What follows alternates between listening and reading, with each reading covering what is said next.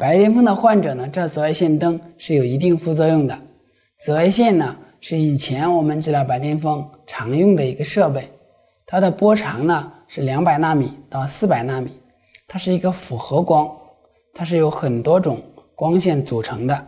有些光线呢穿透皮肤比较深，有些光线呢穿透皮肤比较浅，有一部分光线呢可以作用到基底层的黑素细胞部位，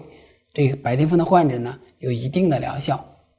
呃，大家都知道，我们在紫外线治疗的时候呢。一定要穿内裤，也就是遮盖内裤的部位，遮盖生殖器官的部位，就是紫外线和明确是不能照射在生殖器部位的，它对人体的生殖是有一定影响的。所以呢，紫外线的副作用是很明确的。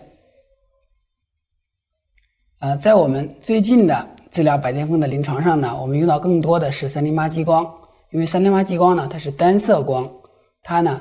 这个光线的长度只有三百零八纳米，它的能量更高，作用呢更专一啊，强度更强，它的副作用当然就更小啊。它只作用在基底层黑素细胞所在这个位置，呃，它即使是有些副作用，恢复也比较快。所以说呢，紫外线我们越来越用的越少了。